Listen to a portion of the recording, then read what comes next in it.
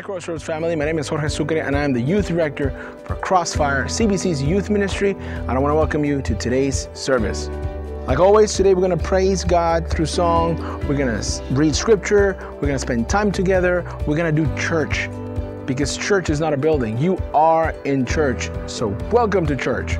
Today we're going to continue our study of the Sermon on the Mount, specifically the Beatitudes, and we now go to Matthew 5 5. So I want to invite you to open your Bibles to the Gospel of Matthew, chapter 5, 5 verse 5, to continue our study of the Beatitudes. Like every week, we want to invite you to engage, to sing, to read, to take notes, to underline, to maybe talk to your family after the service, discuss what the sermon said to you, and to maybe join one of our small groups during the week where people discuss these sermons and these messages in more depth. Once again, thank you so much for being with us and welcome to church.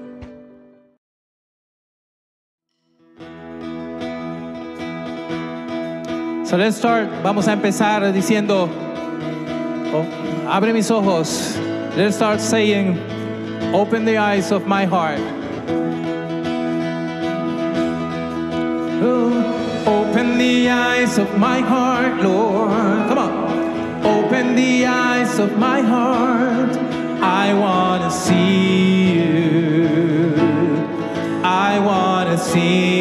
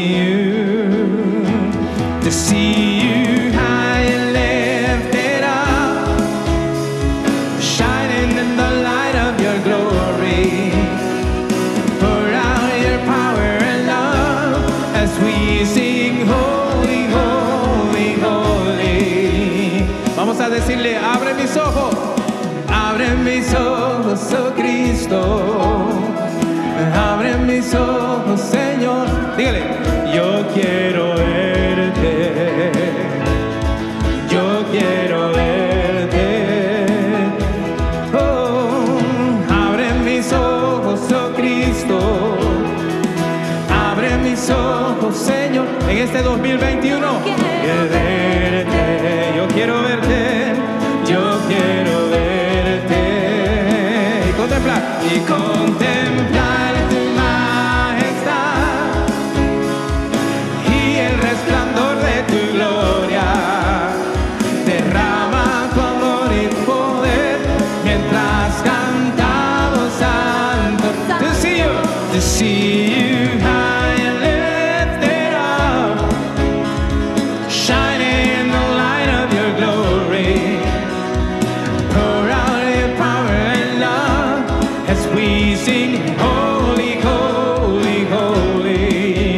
church, say, Holy, Holy.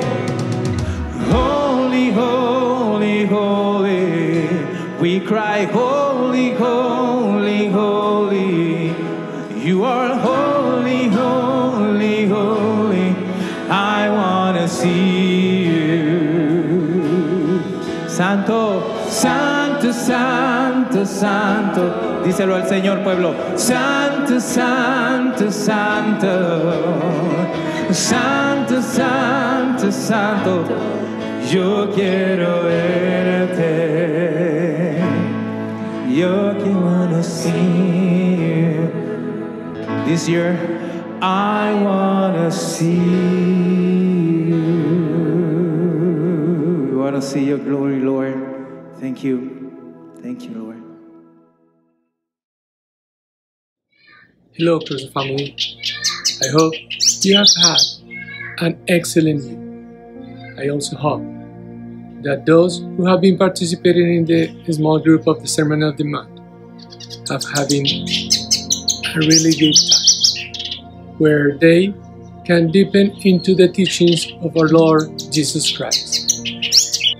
To those who are not part of a small group, I encourage them to join one of the existing groups. For that, you can let us know your desire to the email below on the screen to assign them to a small group. The last Sundays, During our missionary moment, we have been analyzing what Luke says in Acts 1 8 and how CBC is fulfilling the mandate to make disciples. Last week, in part 1, The Ends of the Earth, we saw how at Crossroads we support missionaries who, in obedience to God's call to make disciples, have moved to faraway countries and adapted to new cultures. Today, we will see how CBC is reaching the Samaria Luke mentions, which in our case is those cultures we are somewhat closer to. Let's start with Rachel Chapman, who grew up as the daughter of missionaries in Panama, was part of the CBC congregation, a place where, according to her testimony, she heard the Lord's call to missions.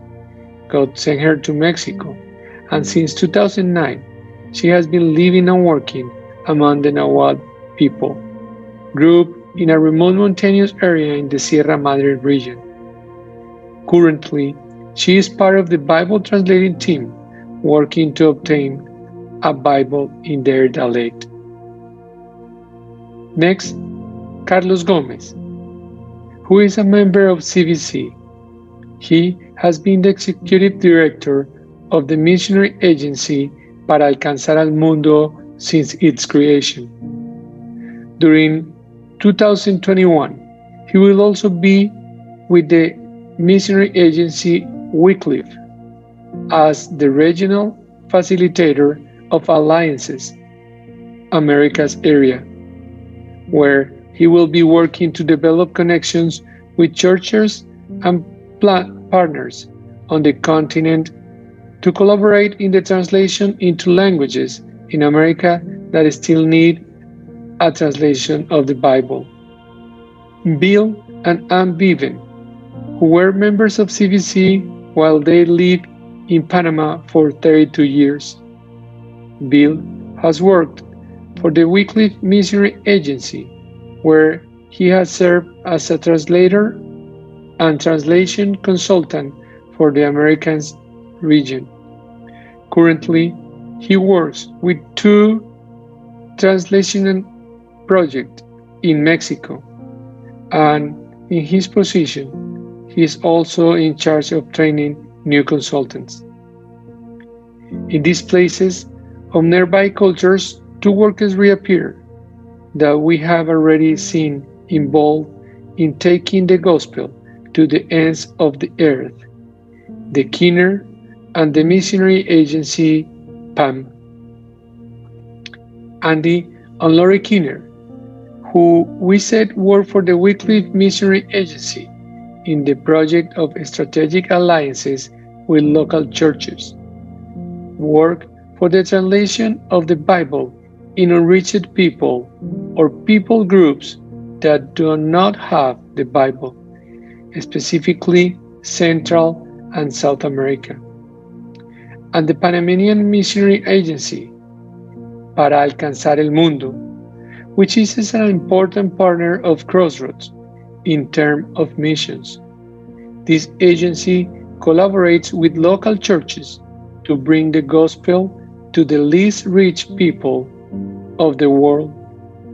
They currently have 14 full time workers and 14 associate workers, all serving with six partner organizations in 14 countries from six regions. Among these regions, we see the Americas.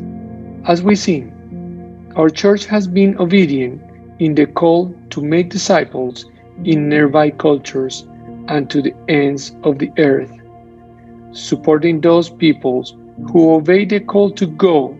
I ask you not to forget what the world says. The harvest is great, but the workers are few. We will always have the opportunity to go or send more workers. Next week, we will see how we are carrying the good news in our own cultures, our beloved country, Panama. I ask that we not stop praying for our missionaries, that God give them health, wisdom, direction, and provision to continue fulfilling the Great Commission. Finally, I want to wish you a week full of blessings. Okay, let's continue worshiping the Lord. You know something? In this this year and every day, it's all about Jesus in your life, in my life. ¿Sabes una cosa? Todos los días, en este año y todos los días, todo se trata de Jesús.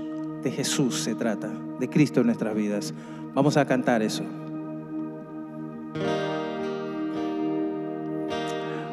Gózatela ahí en la casa con la familia. Enjoy this, enjoy the song with your family at home.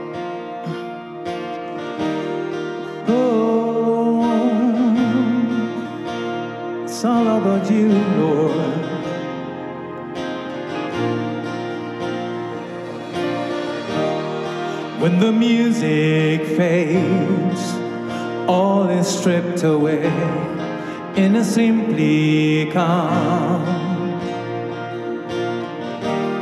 longing just to bring something that's of worth that will bless your heart. Come on, give it.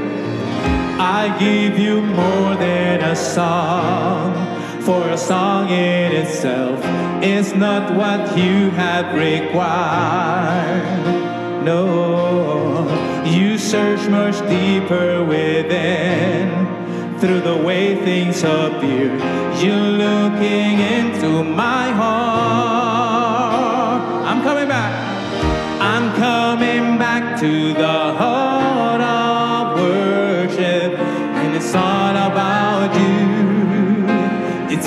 about you, Jesus. I'm sorry, Lord, for the thing I've made it, and it's all about you. It's all about you, Jesus. Oh. Dile, soberano rey, dile al Señor, ay. Soberano rey, no sé cómo expresar lo que mereces tú. Oh, aunque no hay mucho en mí, todo lo que soy te pertenece a ti. Dile, te doy, doy más que una canción, pues solo una canción no es lo que esperas de mí. No, tú buscas en mi interior, no te puedo engañar, tú miras mi corazón.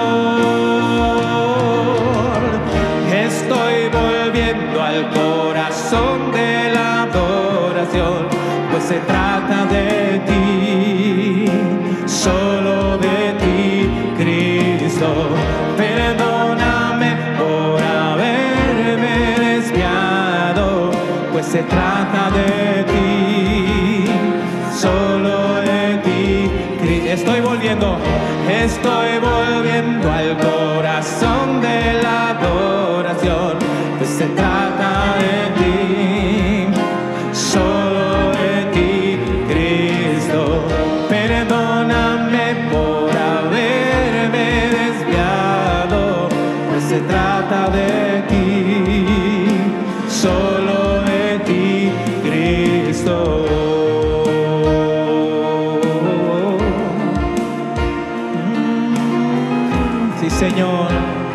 It's all about you, Jesus. Se trata de ti, Señor. It's all about you. It's all about you. Come on, right, right there where you are. Ahí donde estás. Say, it's all about you. It's all about you. It's all about you. Oh, dile pueblo, dile, se trata de ti. Gózalo. It's all about ti. Se trata de ti. Díselo al Señor, díselo al Señor. Se trata, se trata de ti, se trata de ti.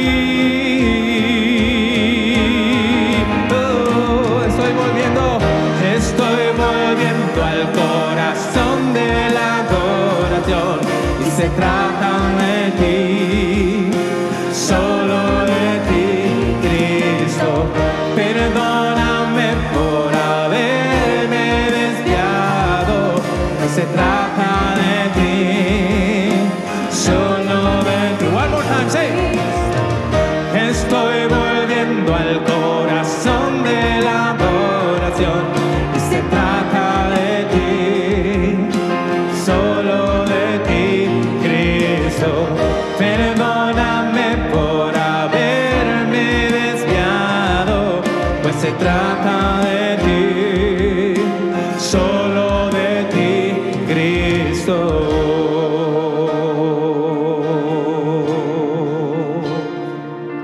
2021, todo se trata de ti, Señor, como siempre.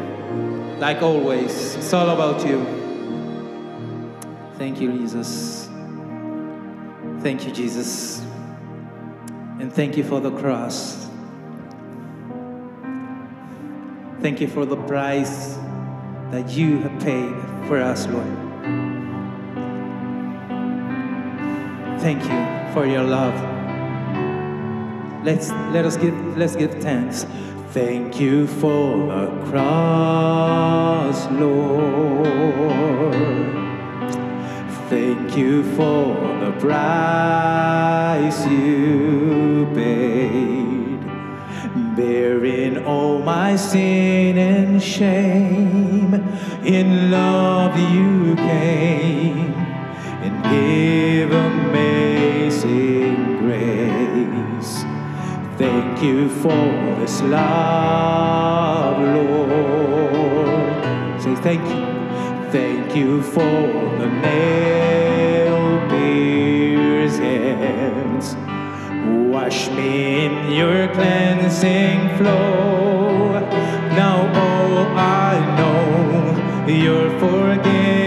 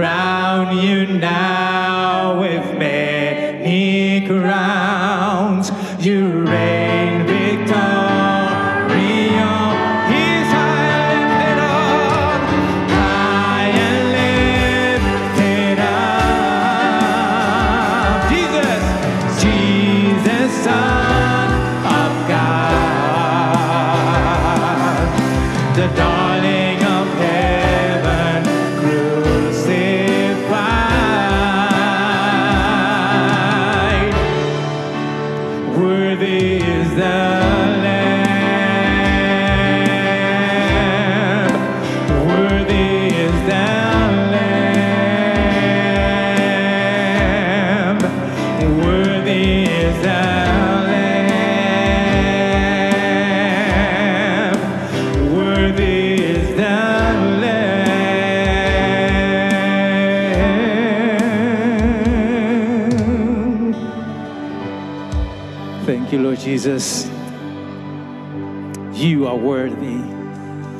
Tú eres digno, Señor.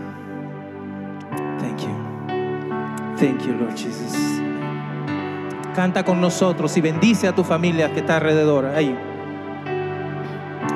The Lord bless you and keep you. Make his face shine upon. Be gracious to you. The Lord turn his face toward you and give you peace. Amen. We want to say it one more time. The Lord bless you and keep you. Make his face shine upon. Be gracious to you. Lord turn his face toward you and give you peace. Amen, amen. Can you help us say amen? Amen.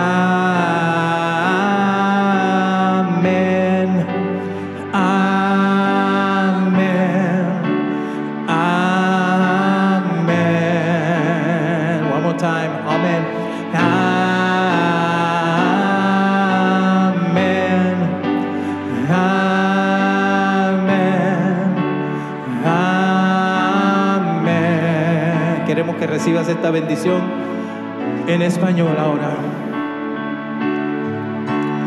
Dios te guarde y bendiga, que extienda su amor y te muestre favor.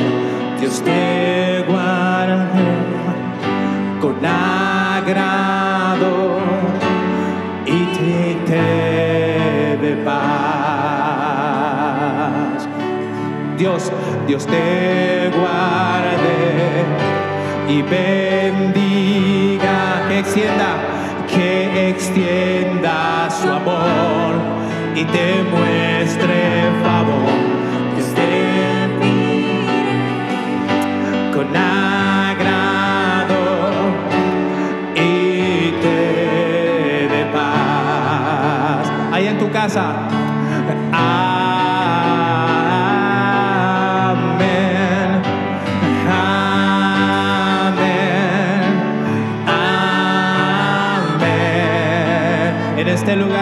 dicen, ah,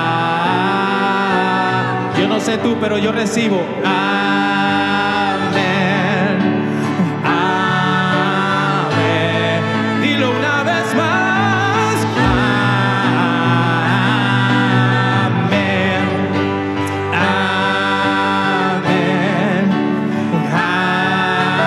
amén. Yo recibo esa bendición para mi familia también.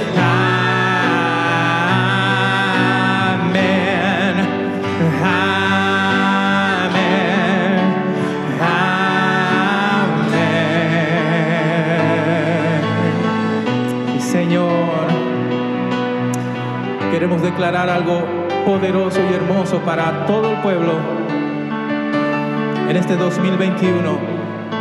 Recibe esto, dice que te cubra con su gracia hasta mil generaciones, tu familia y tus hijos y los hijos de tus hijos. Que te cubra, que te cubra con su gracia hasta mil generaciones, tu familia y tus hijos y los hijos de tus hijos.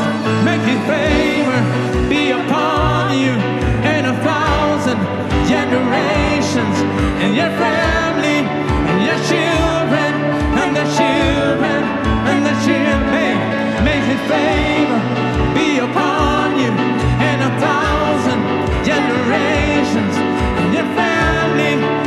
children and the children of your children. Su presencia te acompañe donde quiera que tú vayas, que te llene, te rodee, va contigo, va contigo de mañana y de noche en tu entrada y salida,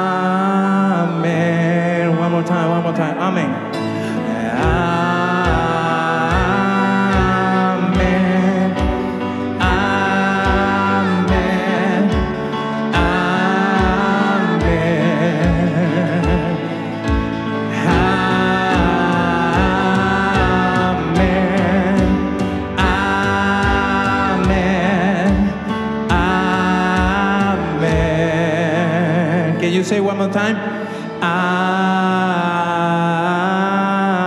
Amen. Yes, I receive. Amen. I receive the blessing. Amen.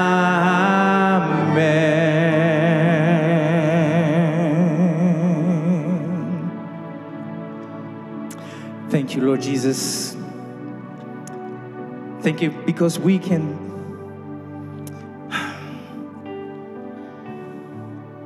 we can trust you, Lord. No matter what we left behind, Lord, we can trust that you are with us, Lord. You still, you're still in your throne, Lord. We are your people. Gracias, Señor. Porque no importa lo que hemos dejado atrás, Señor, tú eres Dios. Tú sigues en tu trono. Y nosotros somos tu pueblo, Señor. Ponemos nuestras vidas en tus manos en este nuevo año.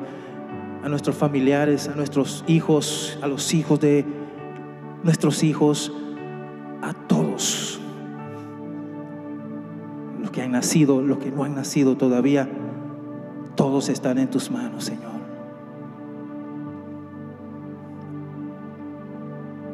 We are, our, fam our family is in your hands. We, our children, and the children of our children, all of us, we are in your hands, Lord. Thank you for being our God. Gracias por ser nuestro Dios. Our refuge, nuestro refugio. Our strength, nuestra fuerza. Our provider, nuestro proveedor. Thank you, Lord Jesus. Because we can freely worship your name. Gracias porque con libertad podemos alabarte. Gracias, Señor. Thank you. And now we are willing to hear words of life from you, Lord. Señor, estamos dispuestos, estamos deseando escuchar palabras de vida, palabras de vida en este primer culto del año, Señor. Te amamos. We love you, Jesus. Amén.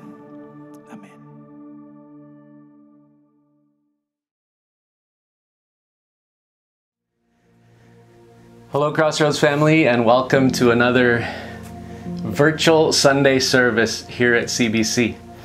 I hope that you guys have all had an excellent week, and I want to thank you once again right now today for taking time out of your schedules to be with me again in this space. Thank you so very much, and welcome to each and every one of you.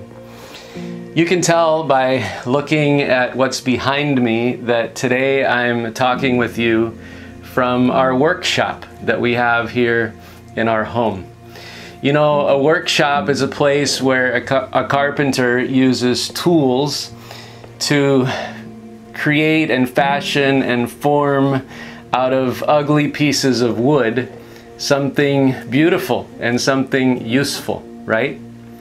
And so today, my prayer is that as we spend this time together in the workshop, that God will use His Word as a tool in all of our lives to shape us and form us and help us become more like Jesus.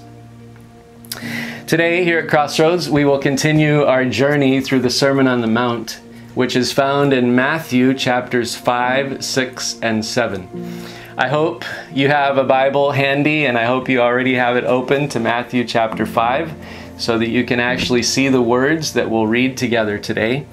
And if you're still finding Matthew chapter 5, let me just quickly remind you that this sermon, the Sermon on the Mount, was a sermon that Jesus preached. And in this sermon, he gives a really clear description of what his followers are like, or at least what we're supposed to be like. So, over the next several months, actually, week by week, Sunday by Sunday, here at Crossroads, we will be discovering together a different facet or a different aspect of this really interesting and important description that Jesus gives of his followers. And of course, all of you are cordially invited to join me on this journey. So, the first section of the Sermon on the Mount is found in Matthew chapter 5, verses 3 through 12. And in this section, we find eight uh, Beatitudes, eight short expressions of divine blessing. And when we put these eight expressions of divine blessing together, these eight Beatitudes, it gives us a clear but pretty general picture of what followers of Jesus are like. And then later on in the sermon, Jesus will get more into the specific details. So uh, we're still in the first section of the sermon. And a couple of weeks ago, a couple of Sundays ago, uh, we learned together from the first Beatitude that the people who enjoy the blessing of God are people who recognize their deep need for God. Uh, followers of Jesus are people who recognize that they have absolutely nothing to contribute to their entrance into the kingdom of heaven. They're people who understand that they are completely dependent upon God's mercy and His grace for their salvation. Then last week, last Sunday, we looked together at the second beatitude and we discovered that the people that enjoy the blessing of God are those people who mourn. Followers of Jesus are people who are truly repentant of their sin.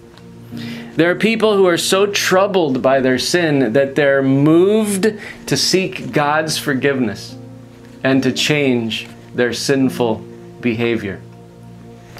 So today we come to the third of these eight Beatitudes. It's found in Matthew chapter 5, verse 5. And if you're participating in our Bible memory project as we journey through the Sermon on the Mount, this is the verse that you'll want to be memorizing this week. Matthew chapter 5, verse 5. And this is what it says God blesses those who are humble, for they will inherit the whole earth. God blesses those who are humble, for they will inherit the whole earth. So, according to this verse, according to this beatitude, who are the people that enjoy the blessing of God? Who are the people that enjoy that deep sense of inner well being, contentment, and satisfaction that God gives to those He approves of? Well, I think the answer is really clear, isn't it? It's those who are humble. Those who are humble. The people that enjoy the blessing of God are the people who are humble. Uh, many translations of the Bible into English use here in this verse, instead of the word humble, the word meek. Probably you've heard that before. Maybe you already have the Beatitudes memorized in maybe an older translation of the Bible and you probably memorized something along the lines of Blessed are the meek. The thing is, this word in the original language, it's really pretty hard to translate completely. So that's why some translations use the word humble and other translations use the word meek. Uh, meekness and humility are actually very similar but they're slightly different in their focus. So, humility is a non prideful attitude towards self, while meekness is being humble in how we treat other people. So, I don't know if you could maybe think of it this way the focus of humility is inward, while the focus of meekness is outward. Meekness is humility expressed in how we treat other people, how we treat the people around us. Um, my favorite English teacher once told me that maybe a good way to remember the difference between humility and meekness would be like this Meekness is one of the fruits of true humility. Meekness is one of the fruits of true humility. It occurs to me that, you know, those Jewish people who were listening to Jesus preach on the mountainside that day, they would have immediately thought about Moses from the Old Testament when they heard Jesus talk about meekness. Uh, in Numbers chapter 12, verse 3, we read the following words. Numbers 12:3 says, "Now Moses was very humble or meek, more meek than any other person on earth." Moses was very meek, more meek than any other person on earth. The context in which we find this verse is uh, Moses, you know, he was the main leader of the nation of Israel. He was a strong leader with great authority. And he was being powerfully criticized by his siblings, Aaron and Miriam. And in his response to this really strong criticism that he was receiving from Aaron and Miriam, Moses acted with meekness because he was, as this verse says, the meekest man in all the earth. Instead of, you know, lashing out at uh, Aaron and Miriam or maybe criticizing them back or maybe punishing them in some way, Moses just let God deal with Aaron and Miriam. Moses responded in meekness. And as Jesus' followers that day were listening to him on that mountainside, I'm just, I'm just sure that they, in their minds, drifted to what they knew about Moses and his example of meekness, which has to do with being humble in our behavior towards other people. I think it's interesting to note that this special word occurs only four times in the whole New Testament. So it really is a, a pretty special word. It occurs obviously here in Matthew 5 5, which we've already read together. But it appears only three other times in the whole New Testament, and I'd like to read you these verses where it appears. So the second time it appears is in Matthew 11, 28 and 29. In Matthew chapter 11, verses 28 and 29, we read the following Then Jesus said, Come to me, all of you who are weary and carry heavy burdens, and I will give you rest. Take my yoke upon you, let me teach you because I am meek and gentle at heart, and you will find rest for your souls.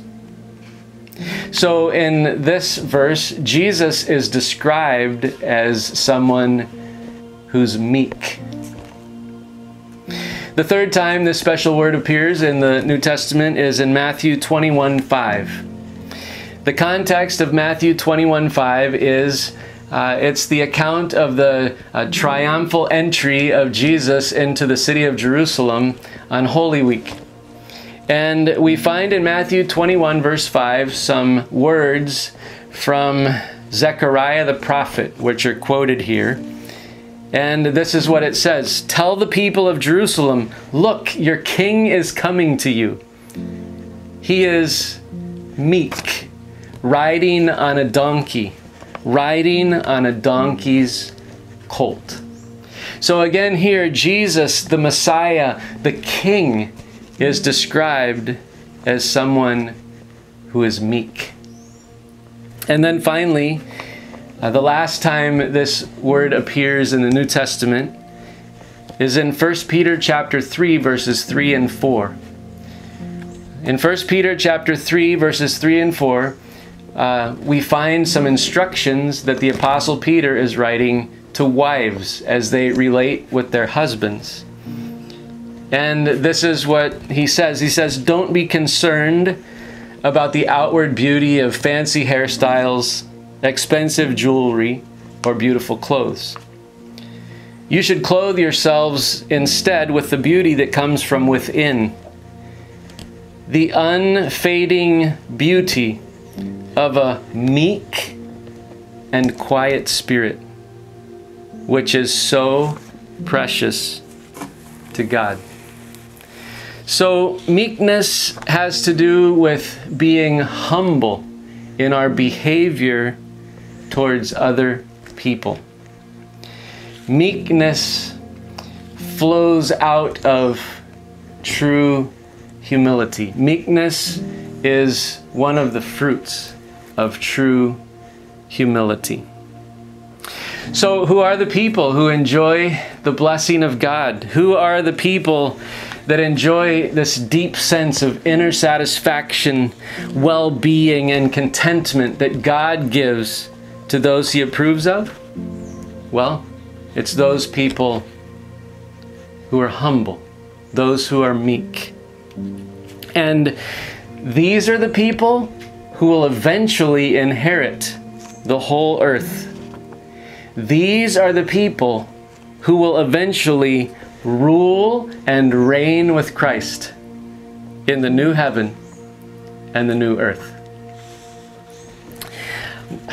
I can't even imagine how shocking this third beatitude must have been to Jesus' original listeners.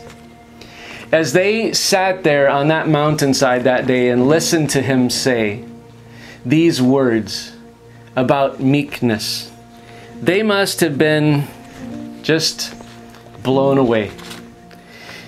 These were Jewish people who were waiting for their Messiah to come and liberate them from their hated Roman oppressors, right? And then Jesus tells them that it is this meek and humble person who will rule and reign with him.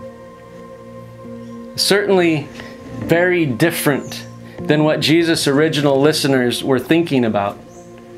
Thinking about a materialistic kingdom ushered in by military might. And also, I must confess, very different from what many people think today. Today, even within the church, there are many people who just don't understand, they just don't get it that one of the most basic fundamental characteristics of followers of Jesus is meekness, humility. I fear that even within the family of God, many times people value power over meekness. I fear that many times, even within the family of God, we have a tendency to prioritize self importance over humility. Followers of Jesus are humble. Followers of Jesus are meek. That's a lot to think about, isn't it? So, as Jesus begins his description of his followers, he starts by saying that his followers are people who recognize that they have absolutely nothing to contribute to their salvation. That they are people who are truly repentant of their sin. And that they are people who are meek. People who are humble in the way they treat other people. These are the people that enjoy the blessing of God. These are the people that enjoy that deep sense of inner well being, contentment, and satisfaction that God gives to those people of whom He approves. Are you one of those people? Think about it. Let's pray. Father, thank you so much again today for the opportunity to be together in this time and place, and for the opportunity to explore really quickly just a tiny idea from your inspired book, the Bible. Thank you for reminding us today that you expect of us as your followers humility, meekness. You expect us to be humble in the way that we act towards the people around us. God, today we are forced to recognize that by nature we're really not very much that way. We tend to be so full of pride and so full of ourselves. And God, we just want to ask you today that as we have spent this time in this workshop with your word, we just pray that your word would, would do its work in our lives. And that we would, even this very week, be becoming in this area of life more and more like you want us to be, more and more like you expect us to be, more and more in the image of Christ. God, we pray that that would be happening in our lives this week. Thank you. And it's in Jesus' name that we pray. Amen. We want to thank you again for joining us today. We pray that today's message spoke to your heart and revealed a part of God, God's plan for you today. We also want to invite you to subscribe to this channel so that we can have more tools through this platform to reach more people. Because it's never been so easy to reach people for God. Just share a link, share a comment, send a message. People are hungry for content and we'll watch binge watch, binge watch anything. Why not have a session of just watching scripture and watching sermons or reading Bible? So share this sermon and this service with them. We also want to invite you this Tuesday at 7:30 p.m. on Instagram Live where Pastor Steve will go deeper into today's message. And on behalf of the elders, the deacons, everybody in the CBC family, we want to thank you for your continued support for our church. We also want to invite you to visit our website if you have any questions, doubts, or if we can be of any help to you. We are here for you, brother and sister. And finally, we want to invite you to lobby time. Spend time together. It doesn't have to be on the chat for this this platform. It could be maybe a message through through um, WhatsApp or a message or call someone or Telegram or whatever. Just contact people. Use this time to contact your friends and family and neighbors and brothers and sisters to do community and to do fellowship. So thank you for being with us today. We pray that the Lord continues to bless you and keep you and protect you and revealing his and we pray that he reveals his purpose to you during this historic time for our church in the world. Goodbye everybody.